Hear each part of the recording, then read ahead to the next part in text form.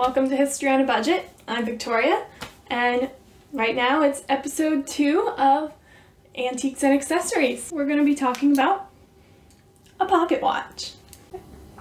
This pocket watch I found at my grandmother's farm, and we're not exactly sure who it belonged to. It might have been my great grandfather's, but it also totally might have been uh, my grandfather's.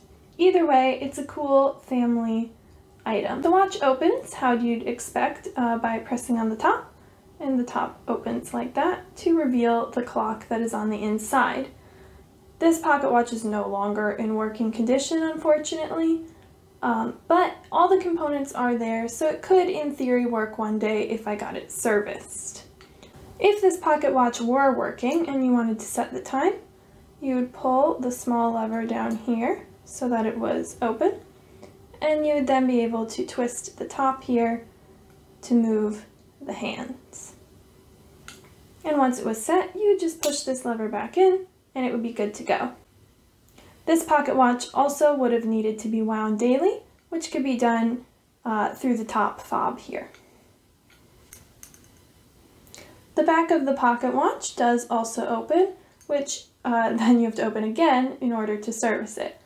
So you can see all the cool, beautiful insides of this watch. Like I said before, all the components are there, if I ever wanted to get it running again, but it does need to be thoroughly cleaned, which is a pretty expensive process. So for now, it's just a decorative item.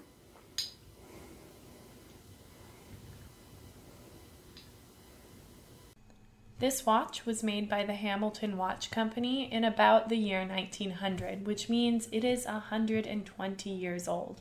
My favorite part of it, though, is actually the outer case although the inside is beautiful.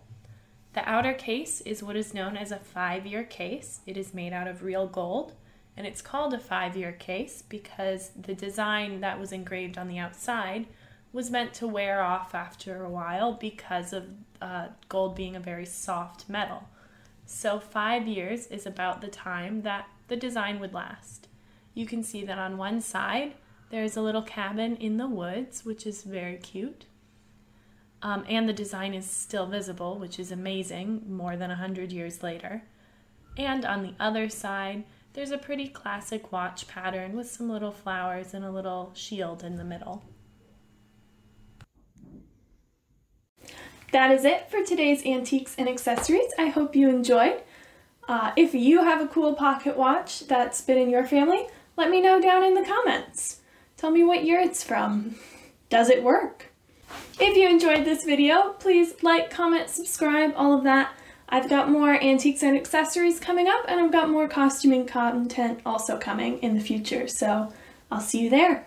We have big dreams and small budgets here, but we're making it happen. See you next time. Today's um, antiques and... Oh. This pocket watch. Ooh, it's shiny in the ring light. Uh, you can see, ooh, you can see the reflection of the thing.